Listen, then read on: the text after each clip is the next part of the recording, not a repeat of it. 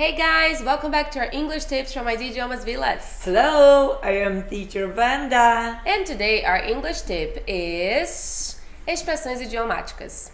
E Teacher Vanda, essa daqui hoje vai significar o quê? Oh, quando você fica com raiva, você perde o controle, você se lembra daquela outra dica que nós fizemos, fique calmo, era como? Keep calm. Or stay cool, or I don't remember. take it easy. Take it easy. Ok, e agora just the opposite. O oposto. Ok, So, fly off the handle.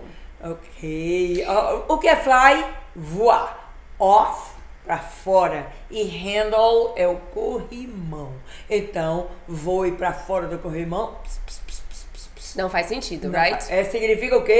Não fique brabo, não zangue. Yes. So, perder o controle e ficar com raiva de repente. Então, aconteceu alguma coisa com você e você.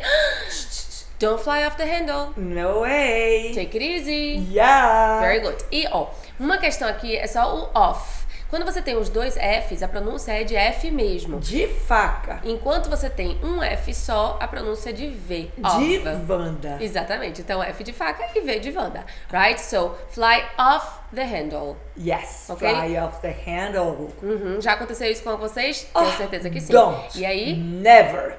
Don't fly off the handle, ok? Então, coloquem aqui pra gente quais são as, as expressões que vocês gostariam de ver também em inglês. Teve uma essa semana que ela pediu, como é? O do passarinho? Como é, mãe? Um passarinho na mão do que dois voando. Isso, e aí a gente pode fazer pra vocês também, alright? Então tem algumas expressões que são muito legais que a gente pode fazer do português para o inglês, ok? See you next tip! Bye.